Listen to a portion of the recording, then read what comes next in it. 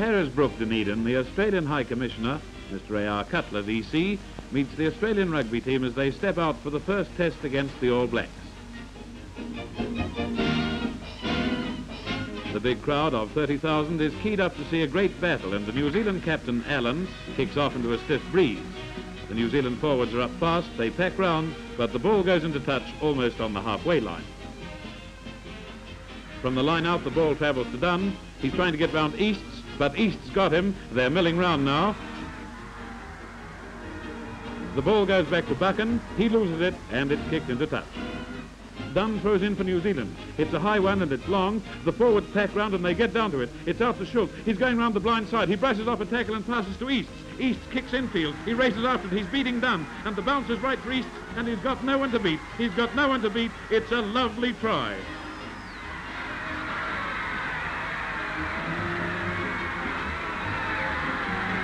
Livermore fails with the kick, and now the All Blacks are on the attack. It's Dunn again, but East's got him. East's giving Dunn no room at all.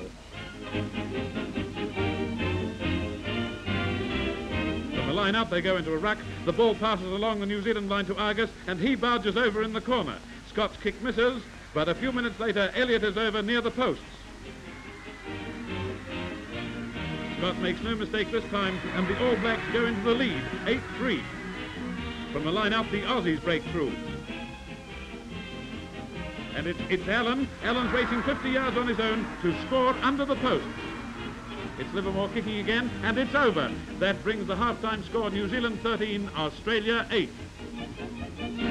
It has been fast and bright football, and with another test match still to be played, the visit of the Aussies makes a grand climax to our first post-war season.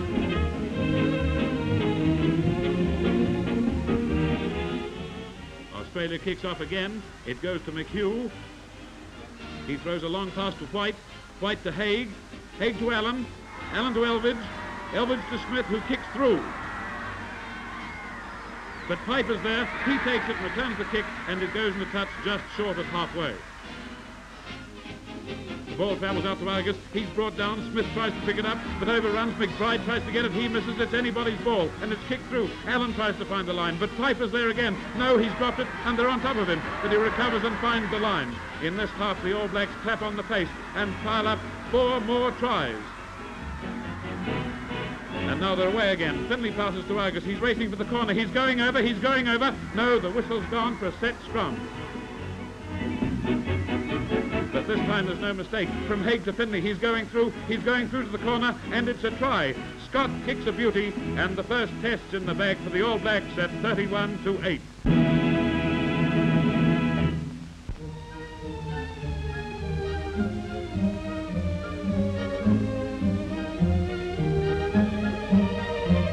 At Palmerston North, a compact new laboratory has recently been completed for the Dominion's research workers on plant chemistry. Concerned mainly with the solving of pasture problems for the farming community, the work of the laboratory is typified by this preparation of a sample of grass for analysis. Pastures and their nutritional value for stock are the main concern, but some problems of human food are also dealt with. Thus, some of the Palmerston workers are studying samples of a new high extraction flour sent them by the Wheat Research Institute of Christchurch. This is work which will save food. And at the moment, the problem is to measure the vitamin B content of the new flour, samples of which are here being weighed out.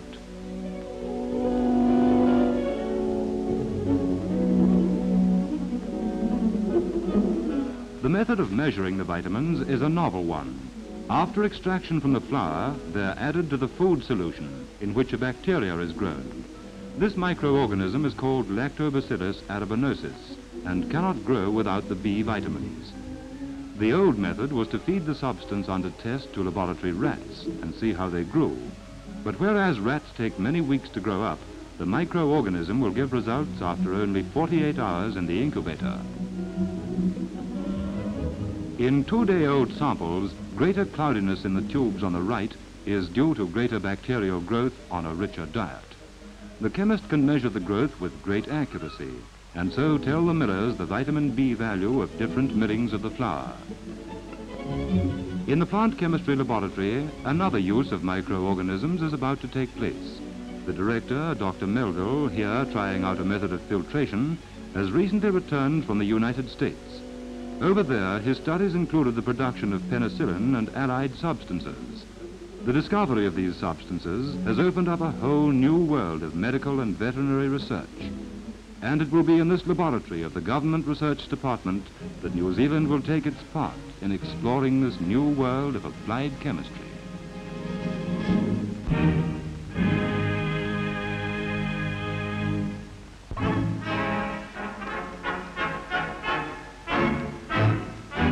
Potting rabbits with a 22 rifle is one of New Zealand's most popular sports.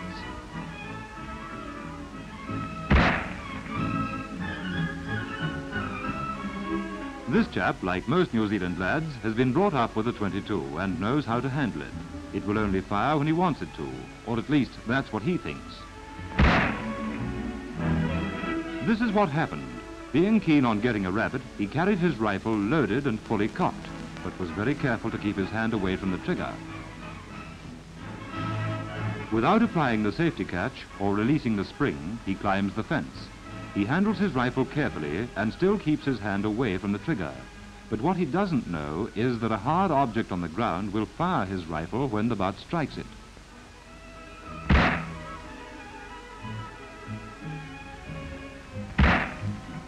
This is what happened that time.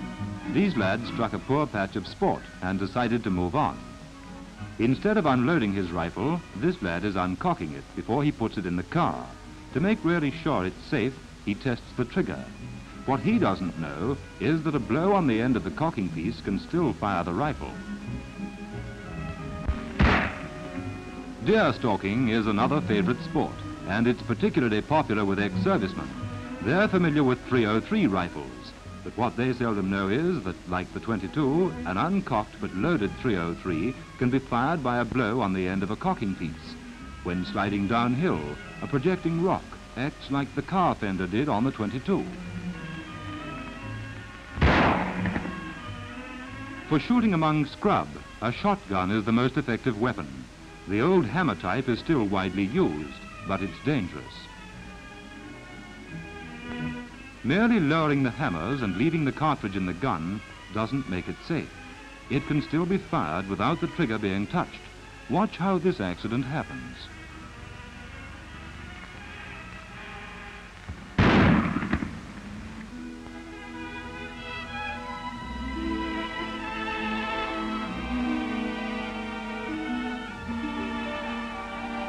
These accidents are of great concern to Mr. Kelly, arms expert of the police department.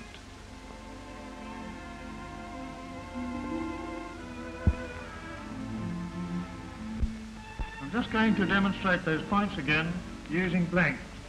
In the first instance, a blow on the butt of the loaded rifle. The rifle is loaded and cocked, and the hands are well away from the trigger. If I bang that butt on the floor, the rifle will fire.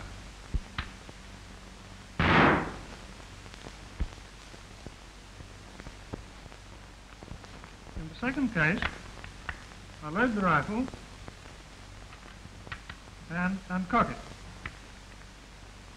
It won't fire if I pull the trigger. Yet if I hit the end of the cocking piece, there, it will fire.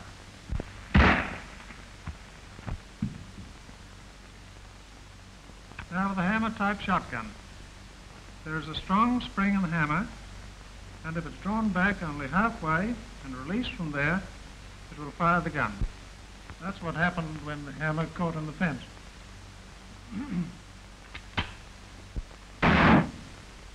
In the last 10 years, there have been 500 cases of gun accidents recorded by the police department. Some are due to ignorance, many to carelessness. The lesson for everybody is no matter how familiar you are with guns and rifles, you can never be too careful.